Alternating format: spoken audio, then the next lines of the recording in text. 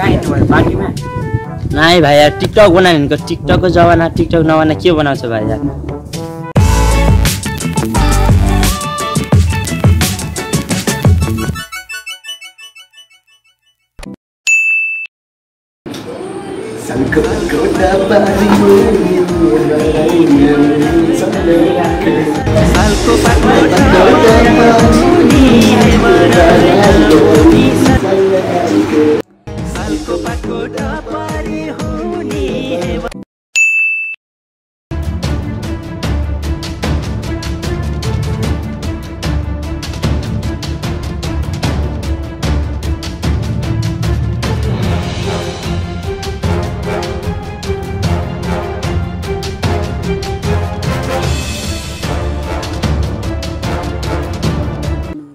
साला भँसडी के?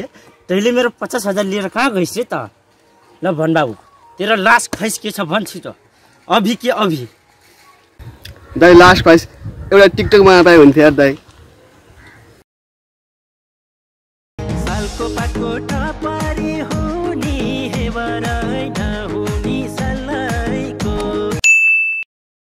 Hello guys म यहाँ टिकटकमा च्यालेन्ज दिँदैछु।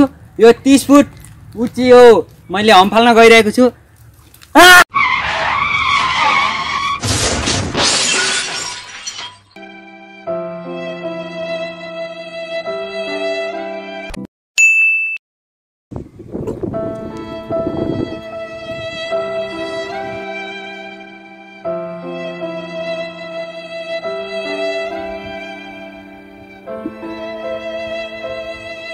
बाबु तिमीलाई क्यान्सर भएछ।